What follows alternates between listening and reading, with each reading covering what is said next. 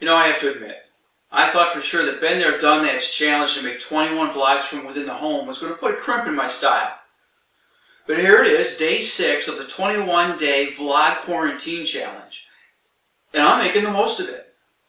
I mean, hey, I'm getting in my November kayak. No worries about breaking quarantine for that. I don't have to fight the current. And absolutely no, no inclement weather. Now, although I do have to admit, I haven't seen any wildlife yet.